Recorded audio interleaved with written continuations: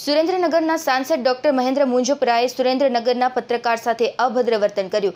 આ બનાવને લઈને સમગ્ર ગુજરાતભરના પત્રકારોમાં ભારે રોષ જોવા મળી રહ્યો છે. ત્યારે ચોટીલાના પત્રકાર મિત્રોએ પણ આ સંદર્ભે પ્રાંતને આવેદનપત્ર આપ્યું.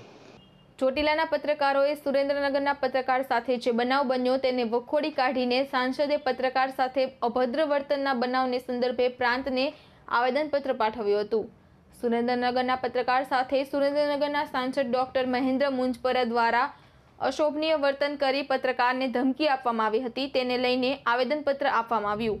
ચોટીલાના તમામ પત્રકારોએ આ ઘટનાને સખ્ત શબ્દોમાં વખોડી કાઢી છે. સાંસદ મહેન્દ્ર મુંજપરા ઉપર કાયદાકીય પગલાં તાત્કાલિક લેવાય તેવી તમામ પત્રકારોની માંગ છે. આને વખોડી કાઢીએ છીએ.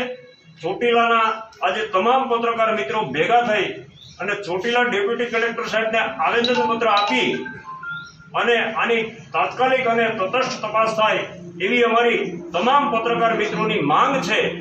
પત્રકાર છે, એક ચોથો સ્તંભ છે.